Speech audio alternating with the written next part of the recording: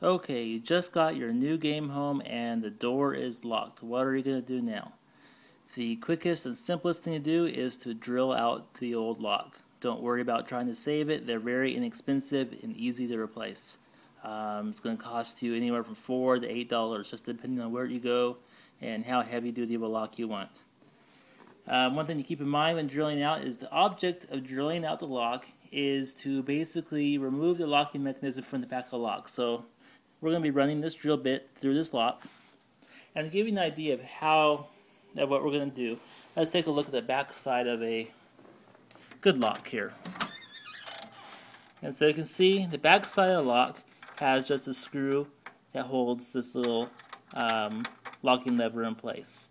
And so we're going to be drilling through the lock until, and actually through the screw, until it breaks off and then we can open the door freely. I recommend using a um, drill that has a hammer action.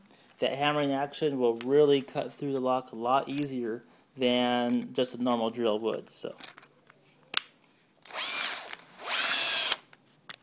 get this going here. Guess I need a tripod, don't I? There we are. And so we'll turn on the hammer and let's cut through this lock.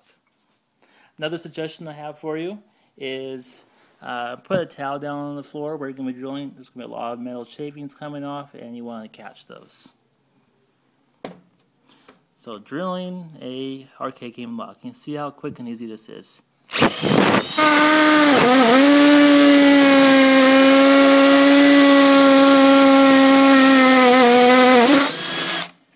There we are. The game is now open. As you can see, the drill bit went all the way through the screw, releasing it and releasing the latching mechanism. We're now free to go ahead and inspect the inside of our game, open it, do whatever we need. Thank you.